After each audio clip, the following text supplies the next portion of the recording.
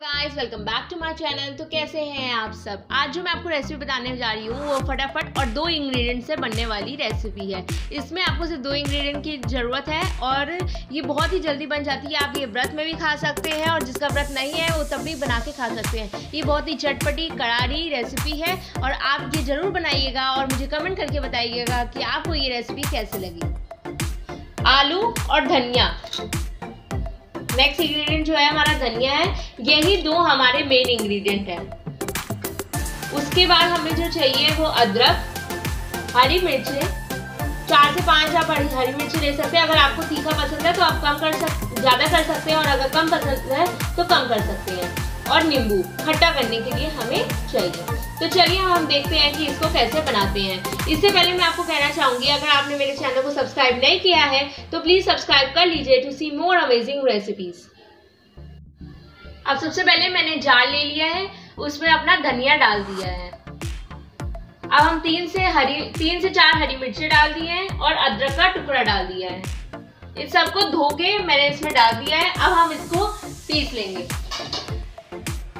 अब इसमें हम थोड़ा सा पानी मिला देंगे। अभी ये अच्छे से पीसा नहीं है, खड़ा खड़ा है और हमें इसको थोड़ा पतला भी बनाना है तो हम इसमें थोड़ा पानी और मिला देंगे और अब इसको पीस लेंगे।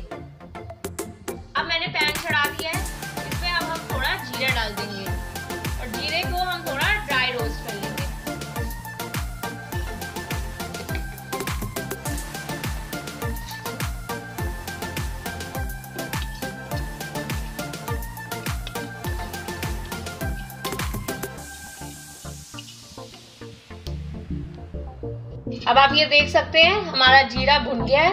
तब तक हम क्या करेंगे, इसको हल्का ठंडा होने देंगे। ये मैंने आलू ले लिए हैं। ये मेरे उबले आलू हैं। इसे मैं छील लूँगी।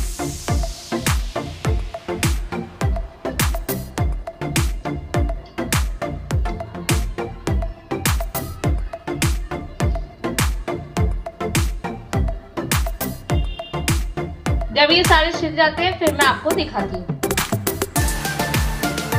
मैंने आलू को छिल के चकोर काट लिया है। आलू के लिए सबसे अच्छे वो वो आलू होते हैं, जो छोटे आलू होते हैं ना बेबी पोटैटोज वो सबसे बढ़िया होते हैं। उसे उबाल लीजिए, सीधा डाल दीजिए। पर मेरे पास वो अभी अवेलेबल नहीं थे तो मैंने इन्हीं को उबाल लिया अब हम क्या करेंगे?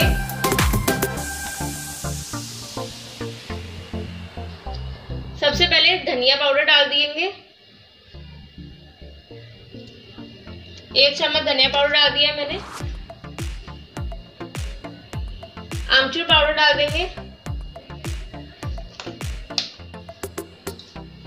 स्वाद अनुसार नमक। और साथ ही साथ हमने ये जो जीरा भून के रखा था, वो डाल देंगे।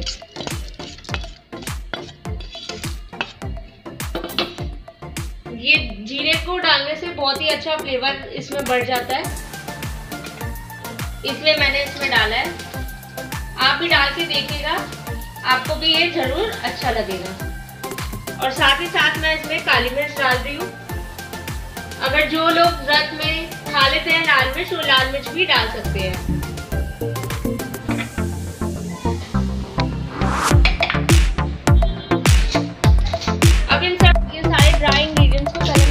के हाथ से हिला ले रही हूँ।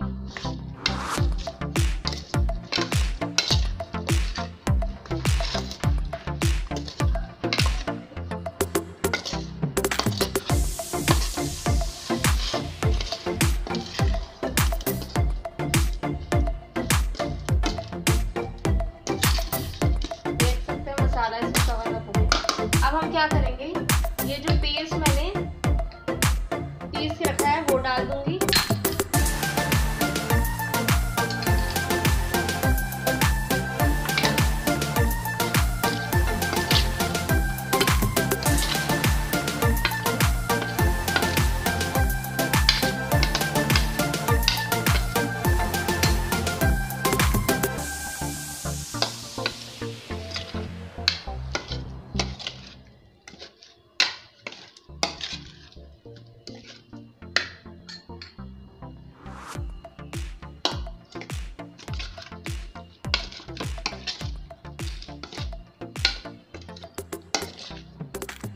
अब आप देख सकते हैं, मैंने सबको अच्छे से मिला लिया है। अब मैं इसमें नींबू मिला दे रही हूँ खट्टा करने के लिए।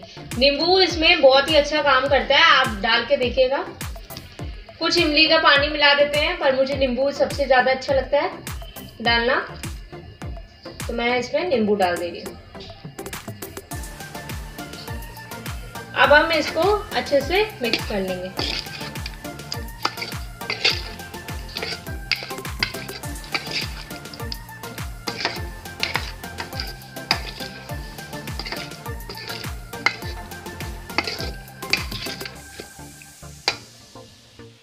ये देख सकते हैं रेडी टू ईट हो गए हैं हम इसे बन, बन चुके हैं अब इसको हम खा सकते हैं। ये बहुत ही मसालेदार और खट्टे वाले धनिया आलू है। तो आप इसे बनाइएगा अपने घर में ट्राई कीजिएगा और मुझे कमेंट करके बताइएगा कैसी लगी। और आपको अगर ये वीडियो अच्छी लगी हो तो प्लीज़ मेरे चैनल को सब्सक्राइब कर लीजिएगा प्रेस